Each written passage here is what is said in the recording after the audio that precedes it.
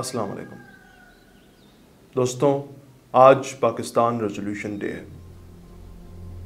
آج کے دن ایک ایسی قرارداد منظور ہوئی تھی جس کی بدولت آج آپ اور میں ایک آزاد وطن میں سانس لے رہے ہیں۔ دوستوں اس پاک وطن کی تکمیل کے لیے ہمارے بزرگوں نے جو قربانیاں دیں اور جد و جہد کی، وہ سب تاریخ کا ایک عظیم حصہ ہے۔ ہمارے جوانوں نے اپنا خون بہایا اور جانوں کا نذرانہ پیش کیا، جس کا اندازہ شاید ہی ہم کبھی لگا سکیں۔ لیکن دوستوں آج ہمارے ملک کی جو حالت ہے، وہ دیکھ کے شدید افسوس ہوتا ہے اور دل میں کئی سوال اٹھتے ہیں۔ ہم جن حالات کی طرف آ چکے ہیں، نہ جانے کب پھر بہتری کی طرف جائیں۔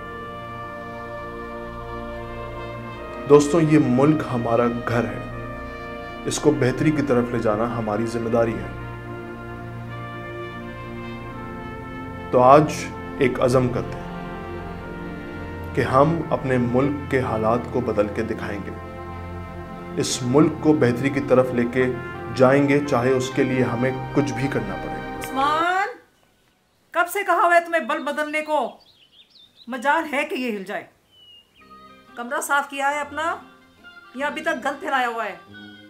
فوراً باہر آؤ ورنہ میں جوتا لے کر آ رہی ہوں۔ پہلے اپنے گھر کا بلب تو بدل لیں۔